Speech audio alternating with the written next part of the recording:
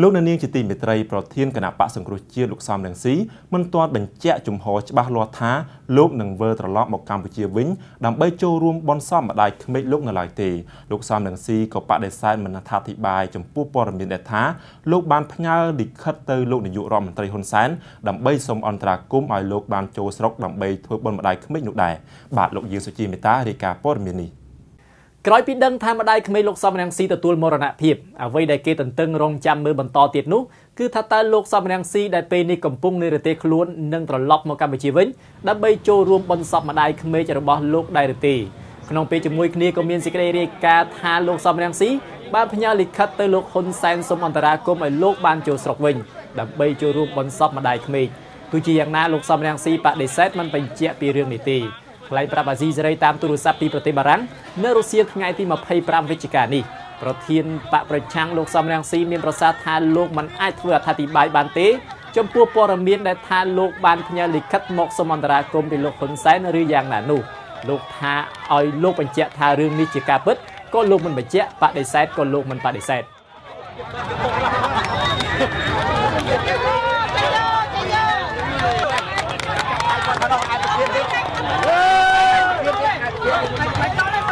ជាយ៉ាងណាលោកសំរងស៊ីសង្កត់ធ្ងន់ថាបើធ្វើទៅបានលោកច្បាស់ជាមកចូលរួមបន់សពម្ដាយក្មេកលោកប៉ុន្តែនៅពេលសួរថាតើអ្វីទៅជាឧបសគ្គមិនអាចឲ្យលោកចូលបាននោះលោកថាអ្នកណាក៏ដឹងអំពីរឿងនេះដែរ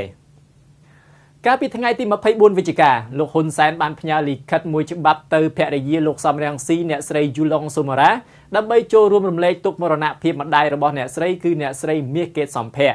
លោកហ៊ុនសែនថែមទាំងបញ្ជូនកូនប្រុសលោកគឺលោកហ៊ុនម៉ាណីទៅចូលរួមគោរពវិញ្ញាណក្ខន្ធសពម្ដាយក្មេកលោកសំរងស៊ីទៀតផងលោកហ៊ុនសែនបញ្ជាក់ក្នុងលិខិតថាការផ្ញើលិខិតចូលរួមរំលែកទុកនេះគឺជាកាយវិការក្នុងនាមជាជាតិខ្មែរដូចគ្នា